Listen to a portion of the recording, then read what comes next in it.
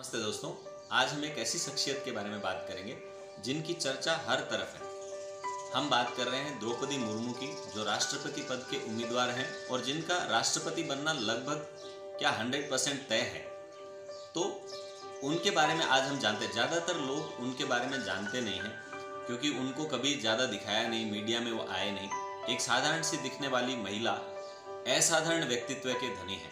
द्रौपदी मुर्मू ने अपने political career की शुरुआत 1997 में की और उन्होंने खुद अपने इच्छा से नहीं की। लोगों ने उनसे रिक्वेस्ट की कि आप पॉलिटिक्स में आइए, आपके जैसे अच्छे लोगों की ज़रूरत है। दोस्तों, हमारी सोचना ऐसा है कि ज़्यादातर लोग पॉलिटिक्स में खराब होते हैं, ज़्यादातर लोग ऐसा मानते हैं। लेकिन आज भी हमारे भारतीय राजनीति में बहुत सारे अच्छे लोग हैं, जिनके बारे में हम कम जानते हैं या तो जानते नहीं हैं। द्रौपदी मुर्मू एक ऐसा नाम है, जिनके बारे में हम कम जानते हैं, बट अद्भुत शख्सियत है। तो आज हम उनके बारे में थोड़ी चर्चा करेंगे, जानेंगे। ज़्यादातर लोग जिनको जानते नहीं हैं। तो द्रौपदी मुर्मू ने 1997 में अपने करियर की शुरुआत की और उसके बाद वो दो बार एमएलए रहे। अपने वाइस प्रेसिडेंट रहे, वहाँ एरिया में उड़ीसा में उनका जन्म हुआ था। और उसके बाद 2015 में राज्यपाल बने झारखंड राज्य के। और आज, राज्यपाल बनने के बाद उनका नाम सुर्खियों में आया और ज़्यादातर लोग जानते हैं उनके बारे में। तो द्रौपदी मुर्मू की तीन संतान थे मतलब दो बेटे थे उनके और एक बेटी थी। उनके दो बेटे एक्सपायर हो गए, मृत्यु हो गई दोनों बच्चों की, बेटों की।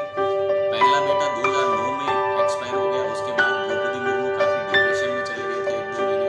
बट एक आध्यात्मिक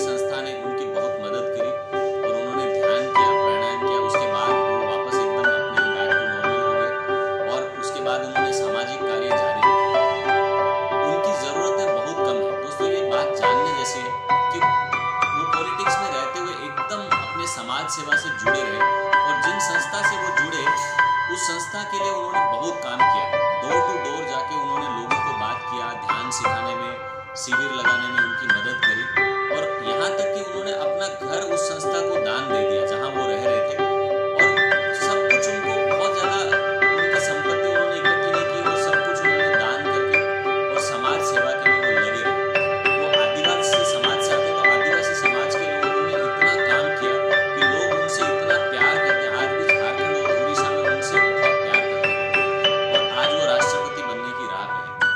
बाद उन्होंने 2015 में जब राज्यपाल बने, उससे पहले उनके दोनों बेटों की मृत्यु हो चुकी थी। उनके पति एक्सपायर हो गए, उनकी माँ एक्सपायर हो गई।